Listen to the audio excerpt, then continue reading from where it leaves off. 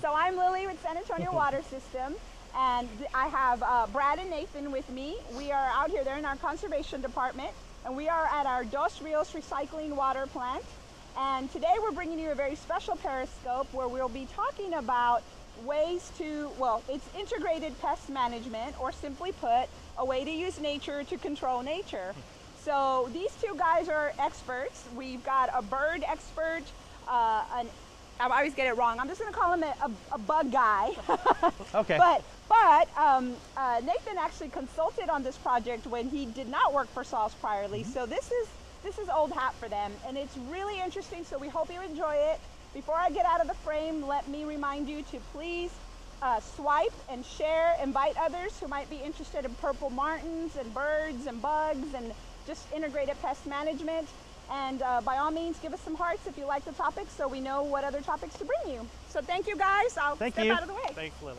All right. Well, um, here at Dos Rios, uh, we sort of have a crown jewel of a really good insect management program that kind of incorporates a lot of different facets. And as Lily mentioned, we're talking about integrated pest management. We're going to call it IPM uh, from here on out. And uh, IPM is a management method that's been around for decades and it involves several different components uh, to incorporate into a management program. You know, most people, when they think of they're dealing with a bug, they're either going to spray it or step on it or whatever they're going to do. And so an integrated, an integrated program, an IPM program, involves four basic components. You have a physical or a mechanical component, which is like trapping, using traps, using uh, removing the, the, the pest with your hands. Uh, you have a cultural component, which means how are you handling the environment? Are you mowing your grass norm regularly? Are you keeping weeds down? Uh, are you reducing moisture? A cultural, how your environment is.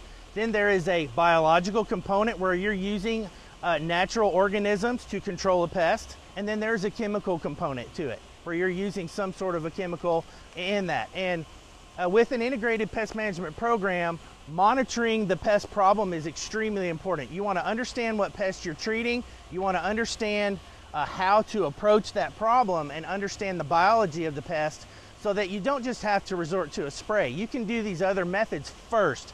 Chemical control in an IPM program is sort of a last resort. So uh, we're going to talk about two components uh, in this particular program here at the SAWS Dos Rios uh, water treatment plant that have become very successful over the years. Uh, this program started in 1996 at one of the other uh, water treatment plants and then started here at Dos Rios in 1998.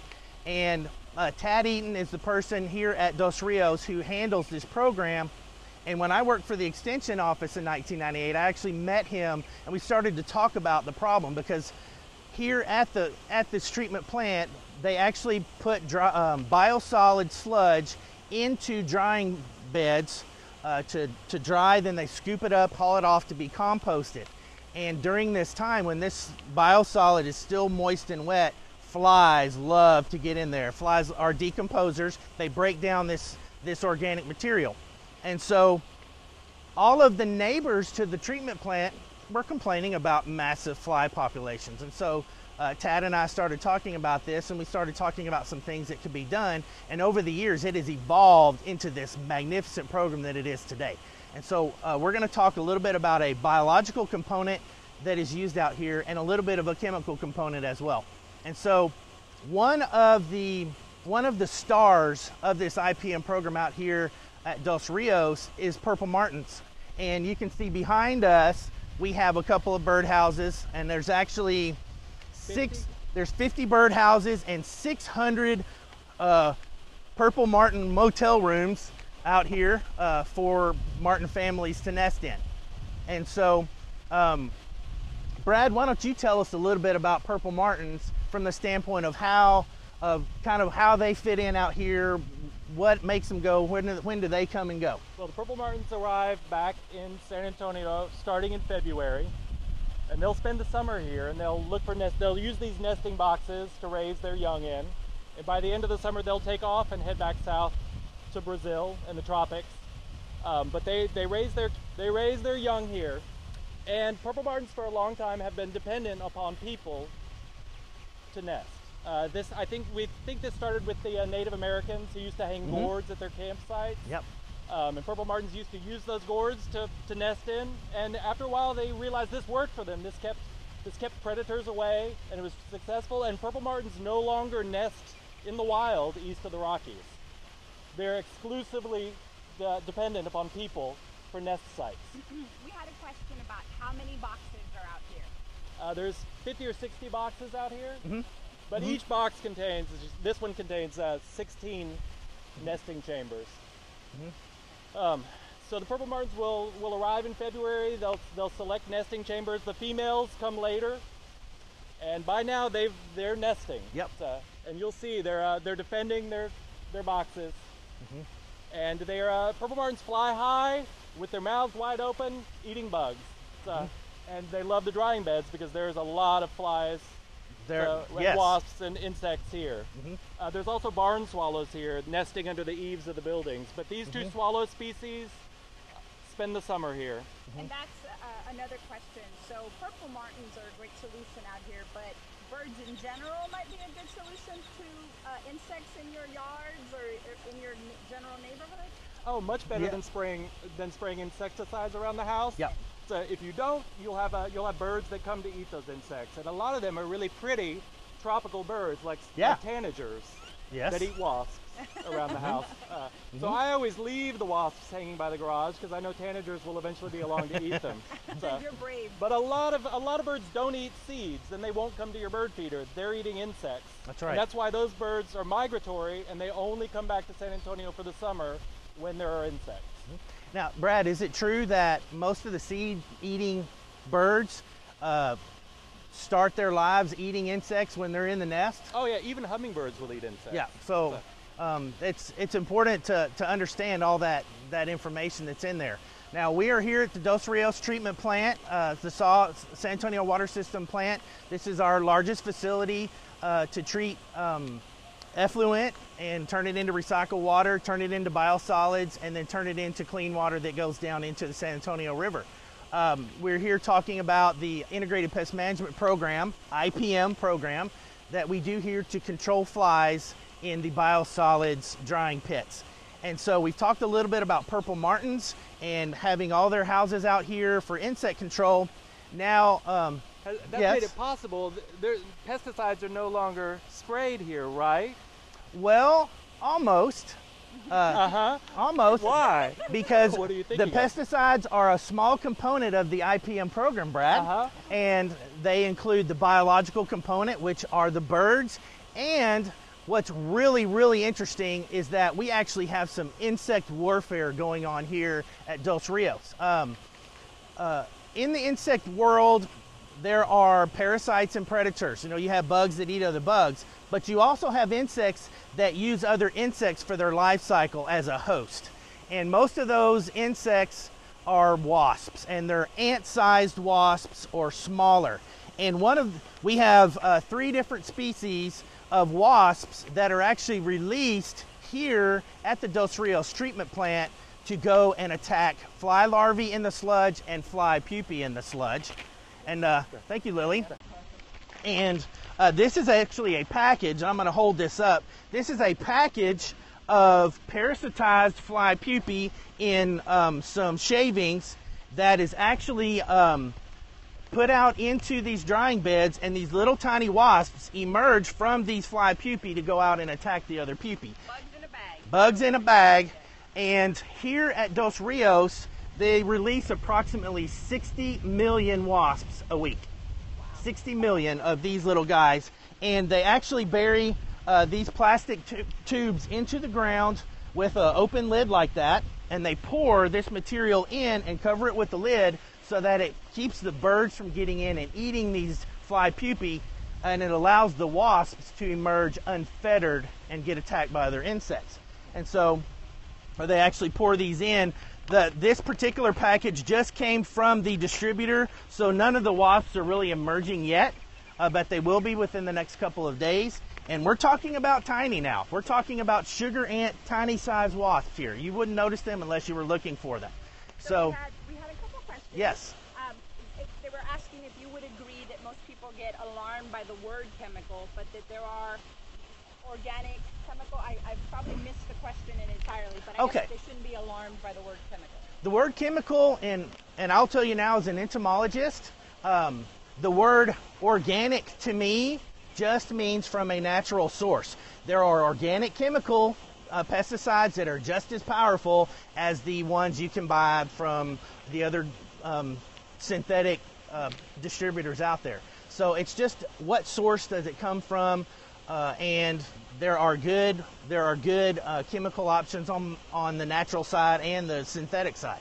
And so um, from that particular standpoint, uh, one of the other things that we release here uh, there is a material called Natrol. Uh, Natrol is uh, contains a um, bacterial crystal from a bacteria called Bacillus thuringiensis or BT, and BT is a caterpillar, beetle larva, and fly larva specific bacteria that is excellent in natural uh, pest control strategies because you can apply it and it doesn't affect anything else. So I think that well, we had two more questions. Mm-hmm. One was were the wasps are the wasps harmful, and the other was um, can uh, what was it IPM? I keep messing up my, my questions because Yes. they fade as we go. But I think it was what you were just answering about being able to use a chemical in IPM. Absolutely. So Um, the wasps are very harmful to the larvae, Yeah. the fly larvae. Yes. They're so tiny yes. that you can't even see them with your eyes. Yeah, They're there's, um, than ants. Okay. I don't know if you can see this or not, but this little tiny black dot right here is a wasp uh, that has emerged out of one of these pupae. These wasps are harmless to humans and animals. They are bred and produced to be used against other insects. And they don't hurt the birds. They don't hurt birds. Uh, these are insect-specific parasites. The birds eat them. Birds, yeah, the birds eat That's them. why. That's why the. Uh, You can buy putting these. them in here. Yes. So the blackbirds won't eat the. Uh, That's right. You can buy these from online distributors to release in your own garden. Or if you have horses, you can release it for fly parasites on horses. So these are extremely beneficial. They are harmless, harmless, harmless to people, animals, plants, only insects. Um, the the natural material that we were talking about, the BT crystals, are actually mixed in with the biosolid sludge in the plant, and then they go out and mix into the drying beds. Uh, and then when the little fly larvae are feeding on the compost, they eat those crystals, and it affects their digestive system, and they die. BT is also harmless to people and animals. It is specific to these insects. Uh, the last thing that we do, and there is a small chemical component to this treatment program out here, but it's not like what you would think. Normally, when an insect population gets completely out of hand, that's when you have to get a chemical to knock their population down and be able to manage them better with natural means. In this particular case, they are mixing uh, with the biosludge, they're mixing an insect growth regulator compound that actually keeps the larvae from developing to the adult stage. And so um, that is, it's a chemical component, but it's not exactly like what you would think of as a spray and kill. It is a spray, eat, and then not mature to the adult stage kind of a program. So, um, and this particular insect growth regulator is only only affects insects. So this program out here is specific, and it is dynamite for controlling insects. I have to tell you, it's a summer day. It's hot here. Yeah. We're standing outside at a uh, biosolids facility treating sewage, Yep. and uh, there are no flies. There are no flies. So, The only not things, even mosquitoes. No, the only things flying around us right now are the mud daubers going to the sludge pits and getting mud to make their nests on the buildings. So uh, it is a testament to the success of this program, and and the neighbors around us will tell you the same thing. No flies. So, a couple of things. I'm going to ask you to reintroduce yourself in just a minute, but right after that, I want you to talk a little bit about if someone wants to try this at home with insects that kill other insects or birds that help control the population, what are the kinds of things they should be looking for, Okay. thinking about, and where do they get more information? Okay, well, I'm Nathan Riggs with the SAWS Conservation Department, mild-mannered entomologist in, in my off time. I'm And Brad uh, Weir with SAWS Conservation, a mild-mannered mannered, uh, bird watcher. There we go. So, um, and we are we are here talking about the IPM program to control flies at the SAWS Dos Rios water treatment plant. Now, there was a question about encouraging birds in your in your landscape. excuse me. Um, that was not a fly, by the way.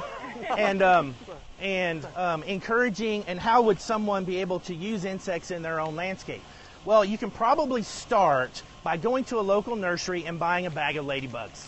Uh, you can get those at local nurseries. You can get them online to release in your garden to help eat aphids and those other pests in your landscape.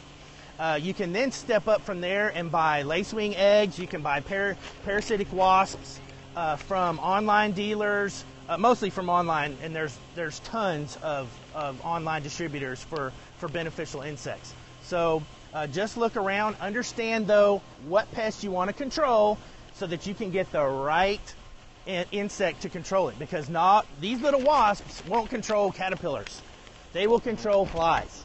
So you have to understand your pest and uh, be able to birds control will it. control caterpillars, Yeah. especially right now on migration when Yes. warblers and tropical birds are coming through. Yes. they're eating the caterpillars out of the tree, and you can hear them. You can hear their jaws snapping. so, so if you have a lot of room, uh, purple martins work. Mm-hmm. Yeah. they, they need a lot of room to fly in and out of the nest. Um, No but trees, even right? even at a home, if you, You, you don't can- want them real close to trees. you don't want them close to trees. You don't want them real close to trees, and they don't want to be either because Mm-hmm. uh, uh, hawks will hunt them. Um, they need some room on the approach. But by planting trees and native plants, you can encourage other birds to, Mm-hmm. That's to right. nest around your house. And before you spray in insecticides, remember there's something, there's something waiting Oh, yeah. out there. There's always something out there, even if the only time you should really consider spraying an insecticide is if your pest population is completely out of control and it is damaging your plants, or if, if it's And like income. and your income, something like yes. Uh, otherwise, there are natural approaches uh, allowing those pest and predator insects to come in. Uh, maybe changing how you handle watering less. If you water a lot, you're going to have a lot more bugs uh, than you you want to handle. So using water wisely in the conservation way, and uh, being able to understand mostly what kind of insects you have, and be able to control them in a very specific way. So, well, um, we have had a good time out here at Dos Rios today. You It's a think, Brad? day. Yes. So, I'm um, staying. yeah, Brad's staying. He's going to watch the birds. But we are so glad that y'all were with us today. Maybe you learned a little bit about IPM and what a successful program can do on a large scale. And um, we'll see you next time on the SAWS Periscope. Thanks, Nathan. I love your Thanks, work. Brad. Here. And actually, Tad is right here. And Tad is here too, yes. You want to say hi? Tad's waving. All But right. Thank you guys. bye.